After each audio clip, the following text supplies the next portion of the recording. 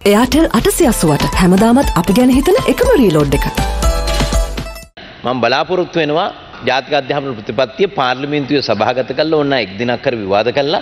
ඒක සම්මත කරන්න ඊට පස්සේ ඒක තමයි දිගටම ක්‍රියාත්මක වෙන්නේ. කාටවත් වෙනස් කරන්න බෑ.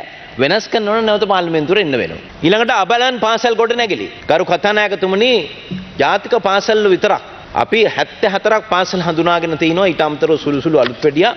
රුපියල් මිලියන 10000ක ඇස්තමෙන්තු දැන් හදලා ඉවරයි මේ වෙනකොට. පළාත් 9ම ඇස්තමෙන්තු අපි කැඳවලා තියෙනවා. ඉතින් මේකට අයවැයෙන් මුදල් නැහැ කියලා ඔබ කියන්න පුළුවන්. හැබැයි විදේශ ආධාර වලින් අපි ඒ කොටස පියව ගන්න දැන්ට අපි සාකච්ඡා කරගෙන යනවා. අවදානම් තත්ත්වයේ දරුවෝ පාසල්ල තියන්න බෑ. දැන් අවුරුදු 3ක් තිස්සේ මේවට ප්‍රතිපාදන වෙන්ුනේ නැහැ. දොම්පේ ප්‍රාථමික විද්‍යාලයක එවැනිම තත්ත්වයක් දැන් කාලයක් තිස්සේ පවතිනවා. ඒ කන්ඩෙම් කරපු බිල්ඩිං එක රිපෙයා කරන්න හදනවා. එතන ලොකු කරප්ෂන් එකක් එක්ක තමයි ඒක සිද්ධ වෙන්නේ. ඒ විදුහල්පති තර්ජනය කරමින් එතන මැදිහත් වෙන නිලධාරීන් කොන්ත්‍රාක්කරුවා එක්ක සම්බන්ධ වෙලා ඒ අවදානම් සහිත බිල්ඩිම පවත්වාගෙන යන්න මැදිහත් වෙනවා. මේ එක උදාහරණයක් පමණයි ගරු නියෝජ්‍ය කතානායකතුමනි මේ වගේ සිද්ධීන් රට පුරා වාර්තා වෙනවා. දැන් වැට්බද්ද 103කින් වැඩි කරනවා. හුඟක් විශ්වවිද්‍යාල ආචාර්ය මහාචාර්යවරු ණය ලබාගෙන තියෙනවා ගෙයක් දොරක් හදන්න.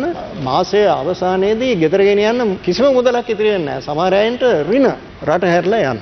ඊට හැරෙන්න පුද්ගලික උසස් අධ්‍යාපන ආයතන හතරක් විශ්වවිද්‍යාල බවට පත් කරනවා කියලා. දැන් ප්‍රශ්නය වෙන්නේ මේ ආයතන රාශියට පුළුවන්ද ගුරුවරුන් ආචාර්යවරුන් හොයන්න පුළුවන්ද භෞතික පහසුකම් තියනවාද? පළවෙනි කාරණේ අපිට දැනගන්න තියෙන විදිහට වැට් පළවෙනි වතාවට පාසල් දරුවන්ගේ පොත්පත් සඳහා ආදේශ කරන්න යන බව දැනගන්නට තියෙනවා. ඒක ඇත්තක්ද? එහෙම වුණොත් ඊටාම බරපතල තත්ත්වයක් මතුවෙනවා දරුවන්ගේ පාසල් පද්ධතියේ.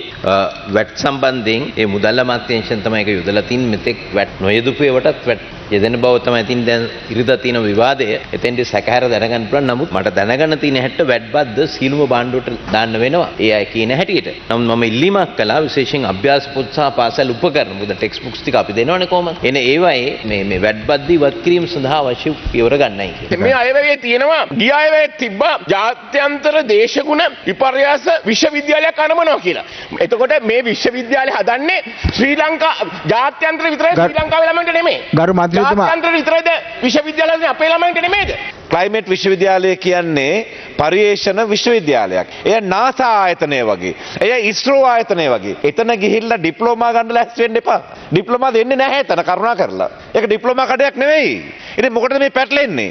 ශ්‍රී ජයවර්ධනපුර විශ්වවිද්‍යාලයේ කළමනාකර පීඨය දැනට වසා තිබෙනවා. එහි පසුබිම උඟාක් අය දන්නේ නැහැ.